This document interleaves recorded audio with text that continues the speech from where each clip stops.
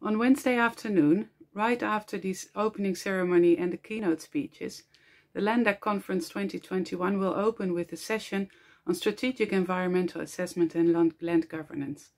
We think this is a relatively new topic and therefore we would like to invite you to come and explore this topic with us. How does strategic environmental assessment link with land governance?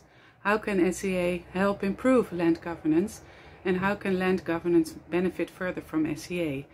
We uh, invite you to come and share with our six panelists from different backgrounds uh, ideas and experiences with this topic and see how LANDAC could possibly do things with this topic. Uh, looking forward to having you Wednesday, uh, 3.45 my name is Gwen van Boven from the Netherlands Commission for Environmental Assessment. We are uh, organizing this session together with Utrecht University. Thank you and see you there.